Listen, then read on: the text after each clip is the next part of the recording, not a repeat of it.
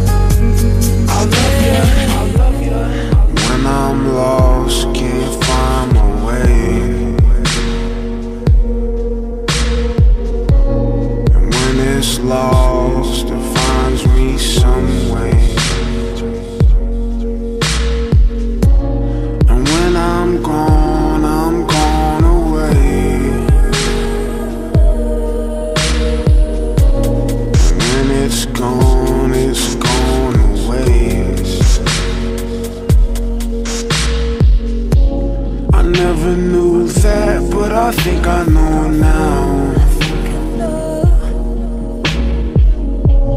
I'll never get back what I used to throw out.